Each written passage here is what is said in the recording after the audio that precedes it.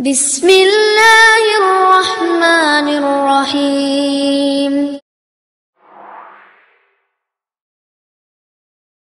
Kata Allah, ketika kamu sukses, yang harus kamu sayangi dan bagi kesuksesan itu pertama kali, ternyata yang disebut ibunya dulu. Ibunya. Bahkan kata Quran begini, maaf ya kalau bahasa bebasnya begini.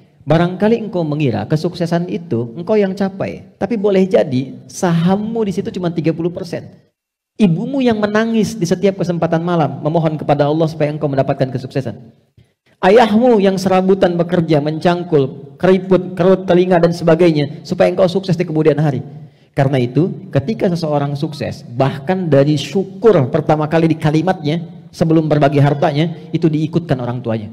Qala rabbi auzi'ni an ashkura ni'mataka allati an'amta alayya wa ala walidayya wa an a'mala salihan tardah. Ya Allah, bimbing hamba untuk mensyukuri semua nikmat yang Engkau titipkan kepada hamba saat ini. Anda sukses punya rumah bagus, mewah, kendaraan baik, tampilan hidup enak.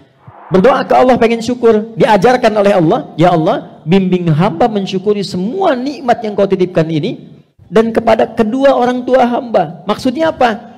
Bimbing hamba supaya bisa membagi kebahagiaan ini untuk orang tua hamba yang mengarahkan hamba jadi seperti itu.